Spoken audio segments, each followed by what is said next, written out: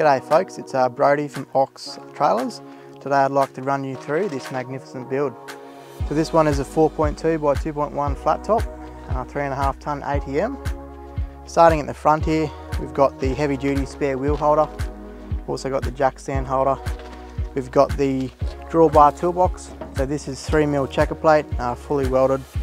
It's uh, great for storing tools, straps and anything like that. It's also lockable with a quality uh, whale tail latch. This trailer you might have noticed has got a Aztec Silver colour upgrade. So this is a great colour as it blends in with a lot of different tow vehicles, but it's also very uh, durable. This trailer is also equipped with a removable headboard. This is a steel headboard and you literally just take it in and out here, crank that nut up there and it holds it in nice and secure. We'll move on to the lift-off canopy. So this trailer is equipped with a aluminium lift-off canopy.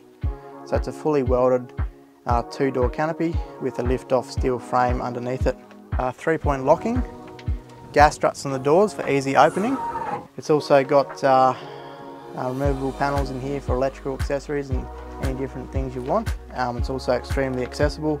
Once you uh, remove this panel, you can then get your wiring into here and into here. You can also run it through the roof like so.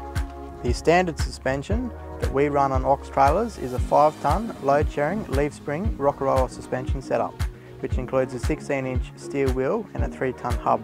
On this trailer we've also got four underbody toolboxes. So these are 3mm check plate construction with a whale tail uh, lockable latch. Great for storing tools, straps and the like. Moving on, we've got the Maxxis Razr tyre upgrade. So this is an extremely uh, durable tyre for dirt roads and farm use. We've also got a 16 inch wheel and a 3 tonne uh, uni hub.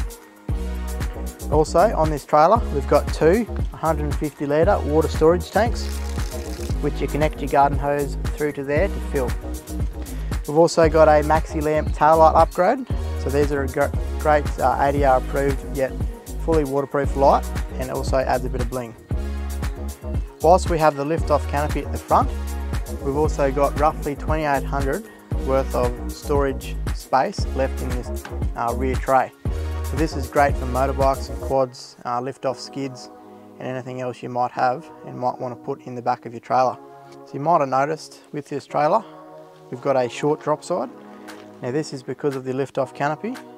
When the lift-off canopy is not in place, it's a full one-piece drop side that goes in, in its spot. So when it comes time to remove this lift off canopy, uh, you simply undo four bolts under the tray floor.